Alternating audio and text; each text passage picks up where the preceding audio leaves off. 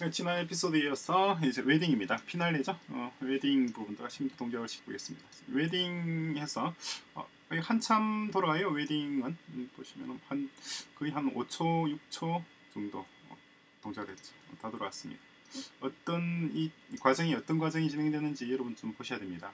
아, 이해를 하셔야 되는데 어, 웨딩 내용을 좀 볼까요? 먼저 웨딩을 호출했을 때 그러면은 웨딩 이 부분이죠. create wedding입니다. create wedding이 호출하는 게 뭐냐니까 어, 이벤트, create event로 호출하도록 구성이 됐어요. 물론 그 전에 몇 가지 단계를 진행합니다.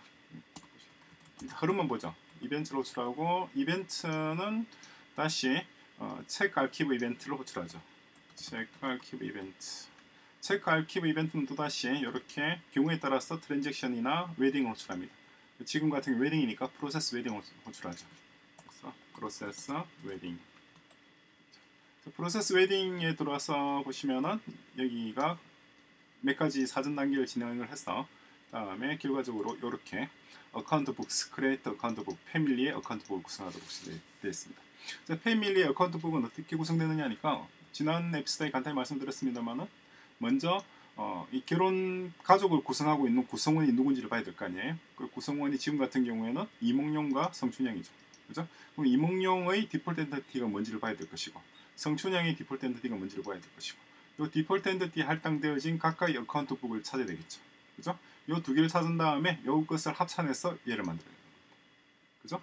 이렇게 만들어진 얘는 또 어떻게 되느냐니까 읍면동 가계부로 전달이 되고 읍면동 가계부는 또다시 강력시도 강력시도는 다시 국가 가계부로 전달이 되는 거죠. 그래서 이몽룡이 이몽룡이 편의점에서 껌을 하나 샀다. 껌을 샀다면 그 결과가 실시간으로 국가 가계부에 적용이 되는 거죠. 반영이 됩니다. 어떤 의미인지 가 되시죠? 그래서 우리가 만들고 있는 것이 일종의 반자동 통계청이라고 말씀드렸잖아요. 그런데 기존의 통계청과 우리가 지금 구성하고 있는 통계청이 좀 달라요. 다른 점이 뭔지 간단하게 정리를 하자면 기존 통계청 기존 기존 통계청입니다. 기존 통계청과 다른 점.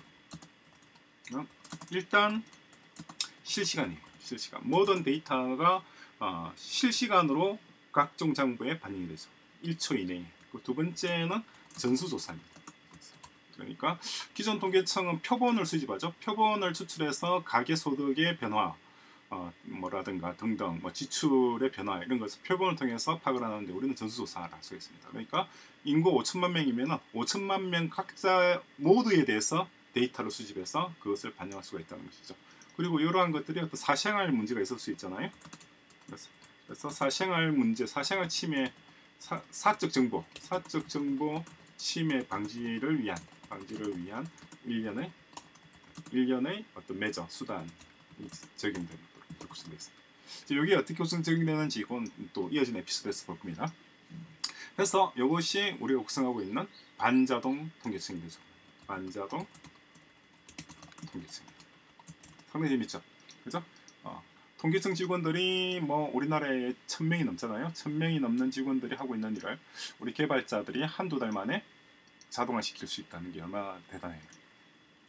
자, 그 과정입니다. 그렇게 해서 다시 돌아서 구성을 했고, 다음에 가계부가 가정의 가계가 구성되었잖아요. 그러면 이걸 기초로 해서 이제 간이 수풀이죠. 수풀을 구성할 수가 있고, 그리고 또 스테이트 수풀, 광역 수풀에 이걸 또 구성할 수가 있고, 그죠? 그리고 마지막으로 국가. 마지막은 아니죠. 사실은 거의 글로벌 있잖아요. 네이션 수풀. 또 이렇게. 지금 하나밖에 없으니까 이렇게 구성할 수가 있습니다. 그죠? 그래서 이것도 마찬가지.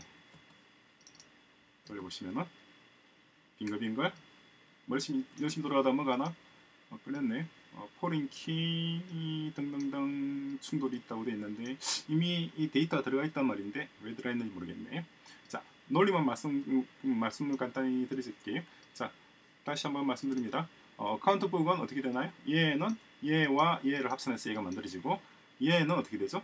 얘는 얘들을 합산해서 얘가 만들어지고 얘는 얘들을 합산해서 얘가 만들어지고 얘는 얘들이 합산돼서 얘가 만들어지는 거예요. 그죠? 그 알고리즘이 어, account books account books 여기에 있는 이 부분입니다.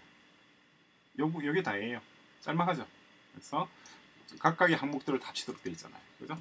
그래서 가령 어, 지금 지난 1시간 동안 지난 1시간 동안 전국에서 판매된 콜라 어, 지난 1시간 동안 전국에서 판매된 콜라의 수 숫자 혹은 짜장면의 숫자 혹은 대중교통 버스 이용자의 숫자 숫자 또는 어뭐뭐 지난 하루 동안 지난 24시간 동안 24시간 동안의 전기 사용 양 등등등 우리가 생각할 수 있는 모든 종류의 데이터를 실시간으로 뽑아볼 수가 있죠. 그래서 어, 사적 정보 침해 방지를 위한 일련의 수단이라는 게 뭐냐니까 바로 이러한 정보들은 사적 정보란 말이에요. 그죠? 사적 정보가 다음 단계로 넘어갈 때 그대로 넘어가는 것이 아니라 숫자만 넘어갑니다. 숫자.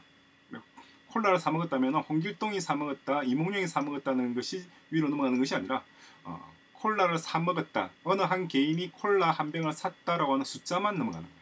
숫자만 또 넘어가게 되고 이 숫자만 넘어가게 됩니다. 그 무슨 말이냐니까 사적 정보는 항상 그 정보의 생산자만이 가지고 있고 그리고 그 이상의 단위 그러니까 읍면동이나 혹은 읍면동이나 혹은 뭐 광역시도나 국가나 여기는 숫자만 받아보는 통계라 통계 정보만 받아볼 수 있도록 이렇게 코드를 구성했어요. 그러한 음, 코드가 어떤 식으로 구성되어 있는지 여러분들이 한번 천천히 보시기 바랍니다. 자 이렇게 해서 일단 어, 상당히 많은 코드 양이 많아요. 많았고 이번 에피소드 에피소드 323번으로 업로드 되어 있습니다. 어, 다운로드 하셔서 어, 코드를 천천히 한번 살펴보시기 바랍니다. 굉장히 많은 코드들이 추가됐어요. 자, 이어진 에피소드에서는 어, 요걸 UI 그죠? UI 이제 우리 또 여기 어, 오페라 예를 들어야 될 거 아니에요. 오페라와 어, 웹 UI죠. 웹 스마트폰 화면에서 이러한 것들이 어떻게 보이시는지 살펴보도록 하겠습니다.